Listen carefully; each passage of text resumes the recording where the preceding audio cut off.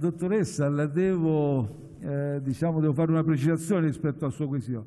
Io non ho detto che va tutto bene.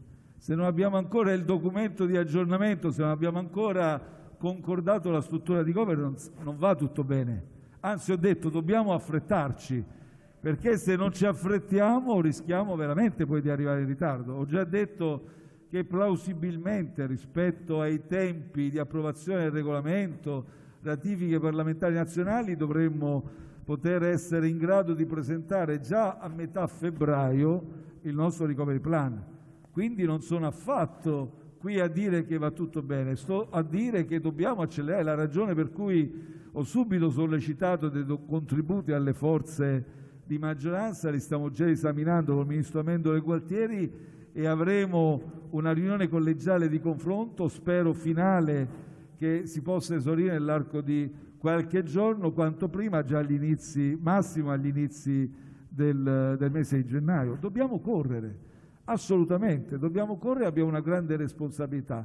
Per quanto riguarda quello che farò nel caso in cui di crisi o non crisi, non, non, non mi cimento in questi scenari. Ho semplicemente detto che se ci sarà una, eh, verrà meno la fiducia di una forza di maggioranza, ci sarà un passaggio parlamentare dove tutti quanti esprimeranno la propria posizione e ciascuno si assumerà la propria responsabilità.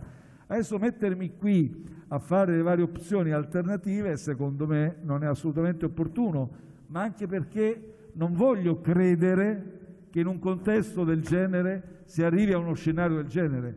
Mi sembrerebbe assolutamente rischioso e insidioso per quel patrimonio di credibilità, di fiducia che abbiamo costruito con l'impegno quotidiano, ma non solo io, tutti i ministri, tutte le forze di maggioranza, tutti i parlamentari di maggioranza.